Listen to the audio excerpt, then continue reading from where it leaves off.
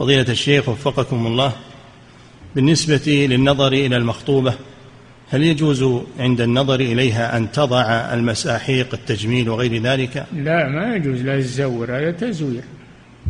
نعم. إعداد مشروع كبار العلماء بالكويت أعزها الله بالتوحيد والسنة.